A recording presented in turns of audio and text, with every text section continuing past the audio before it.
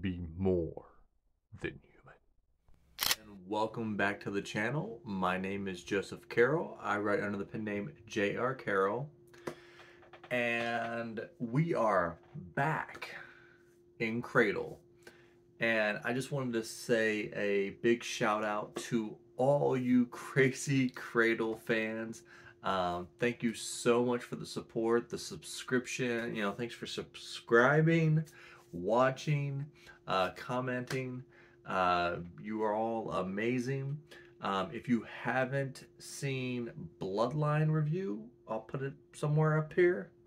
Um, but today we are talking about Reaper.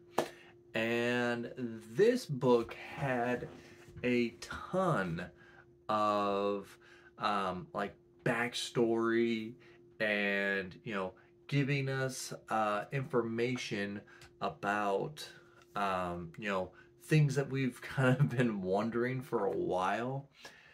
But in the end, it's all about the end. Um, you know, this this freaking uh this freaking ending to the book just uh totally caught me off guard. Um but before we kind of get into that, we'll we can kind of talk about what uh you know what went on.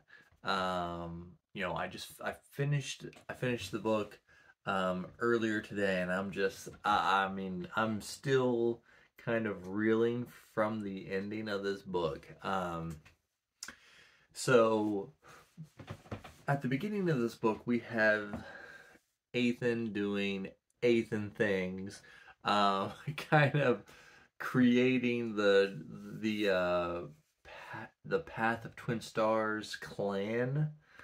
Um, you know, and everyone's signing up and supposedly, you know, it was like, oh, oh, it's Lindon's clan. He's starting this whole thing. Um, but as we all know, it's always Eithan behind everything.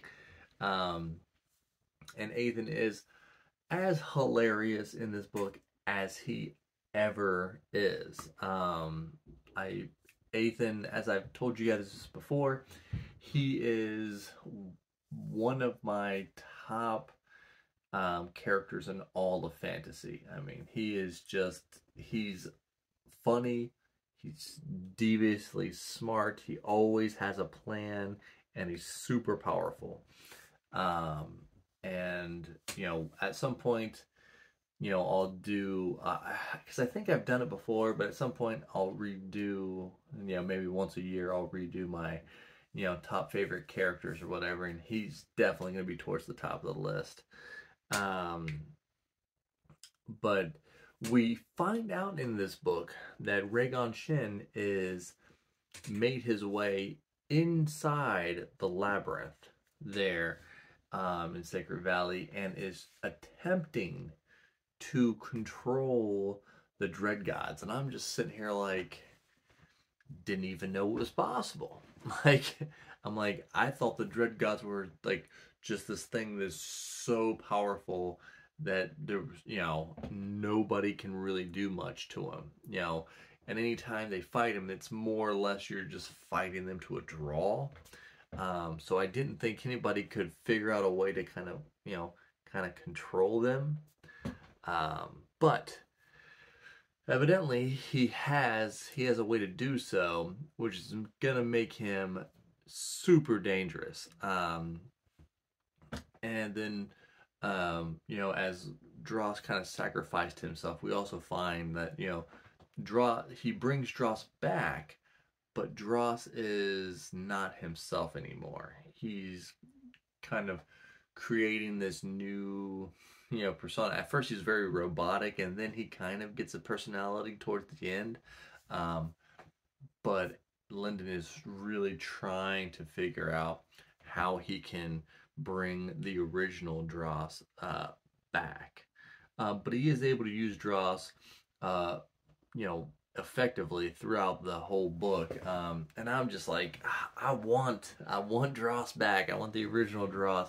Although this guy, uh, this version of Dross was pretty funny um, towards the end. you know, it kind of gets um you know kind of goes evil dross a little bit um which which I, I thought was funny uh you know there were so many um you know so many crazy twists and turns you had like people turning on people like the the you know the eight man empire um you know side you know siding with uh Reigan Shen and decides that they're gonna fight Malice, and then Malice bring you know they're both bringing armies against each other.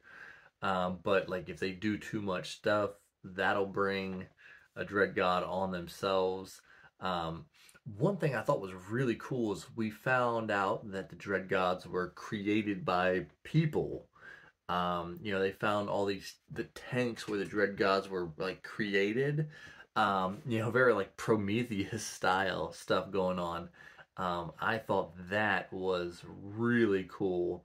Uh, I mean, I'm all into the backstory and uh, you know these dread gods being created.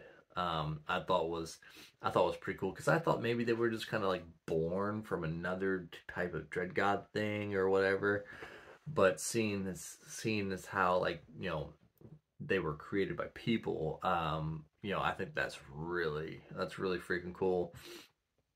Um, you know, and you know they, they're so they're battling to try to stop uh, Ray Reigan Shen, and he uh, they end up fighting him down there, and, and, I mean he was like tearing him up and everything, and Lindon and him end up going at it, and I love how like Lind, you know, he was kind of not taking Lindon very seriously, and then you know Lindon tells him is like, oh, he's you know, Lindon's like, uh, you just want to take over this world. You just want to rule this world. He goes, and Lindon's like, that's not enough. I want it all.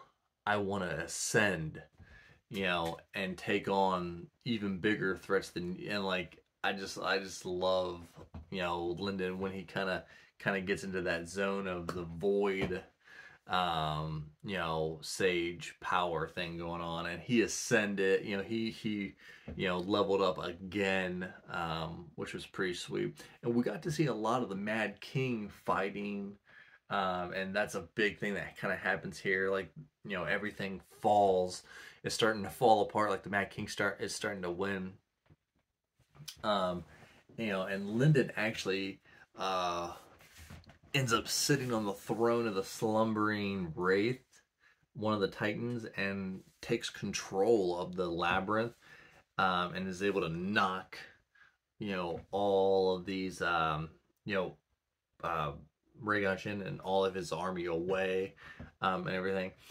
But the big freaking reveal, um, you know, you know, the Mad King, they see him in the you know, in the sky, and it's like, okay, it's over now. He's like, he's he's coming here to just to destroy everybody, and then boom, he gets killed.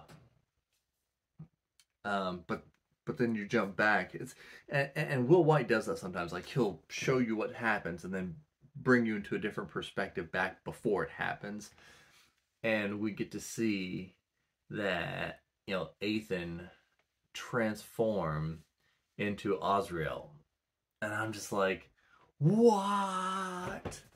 Eithan, like, oh, it's always something more. Um, and, you know, and then he's kind of like crying and, you know, he's like, you know, he's like, I wish I could have been with you guys longer. And so he's, you know, stops the Mad King from destroying the world. And then the other Abidan come in and take, you know, and take him out, and then they come and take Eithan, you know, as a as a prisoner, and, um, you know, Lindon's like, kind of like, we'll see you, I'll see you again. I have some work to do, but then I'm gonna come and you know and find you, and I mean that was just one of the most mind blowing things there um, I don't know. Put in the comments. Did you see that coming? You know, um, as a whole, I really like the book, um, but it was really all about that ending. And now we're like, okay, um, we got some stuff going on. I cannot wait to get to Dread God. Um, make sure you're subscribed. Make sure your notifications are on because I'm not gonna wait too long before I do Dread God. Um, it's Dread God's probably coming in the next week. Um, I can't, you know, I I can't stay away now. I have to catch up. So I can't I can't wait to get the next one out to you, and I'll catch you in the